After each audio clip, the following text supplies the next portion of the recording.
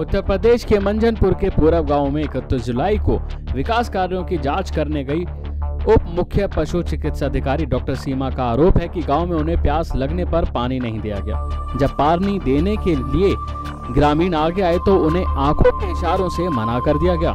मौके पर मौजूद ग्राम विकास अधिकारी रवि दत्त मिश्रा व बीडीसी सदस्य ओम प्रकाश तिवारी ने बोतल गंदी होने का हवाला देकर उन्हें पानी नहीं पिलाया। सुनिए क्या कहना है?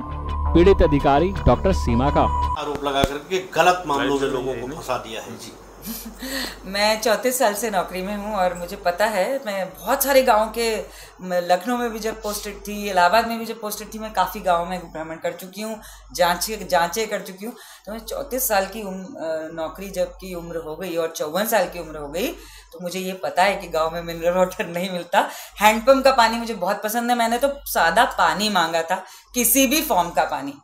और इसको मिनरल वाटर पता नहीं किसने बोल दिया आई डोंट नो सॉरी एक अस्सी तक को फंसा दिया गया उस मामले में जबकि जबकि अस्सी पर अस्सी अस्सी अस्सी एक्ट मैंने मैं मैं किसी की कास्ट नहीं पूछती हूँ ना मैं किसी के बारे में बात करती हूँ कास्ट की और मुझे तो सिर्फ़ ग्राम विकास अधिकारी और जो बीटीसी हैं मौर्य जी रवि दत्त मिश्रा जी ग्राम विकास अधिकारी और जो तिवारी जी हैं जो बीटीसी हैं उनके द्वारा जो बात कही गई, मुझे उस पर प्रॉब्लम है। प्रधान तो बैठे थे। मेरा मतलब ये था कि इंसानियत उनके अंदर नहीं थी क्या? प्रधानों के अंदर तीन प्रधान बैठे हैं जो हमारे सरकारी कर्मचारी हैं और सरकारी कर्मचारी की कोई कास्ट नहीं होती। तो मेरे लिए पानी बॉटल झूठी हो जाएगी, गंदी फेंकनी पड़ेगी। ये बोलना ऑब्वियसली तकलीफ़ दे था, बहुत तकलीफ़ दे था। मेरा अपमान था as a human being also और as an S C officer महिला ऑफिसर ऑल्सो वो मुकदमा वापस लेने की बात कर रहे हैं कि इस मुकदमे को वापस लिया जाए। उन्होंने आज डीएम और एसपी से मुलाकात भी की है। जी। मैंने मुझे भी डीएम साहब ने बुलाया था और मुझे डीएम साहब की जब ऑलरेडी मेरे को उन पर बहुत विश्वास है कि उन्होंने कहा है कि मैं इसको स्ट्रिक्ट एक्शन लूँगा। जिस जो भी ऐसी कार्रवाई उसको जाँच होगी और जाँच के लिए उन्होंने टीम गठित कर दी है। तो मुझे नहीं लगता कि जो मैं कह चुकी कल तक वो मेरा सच है।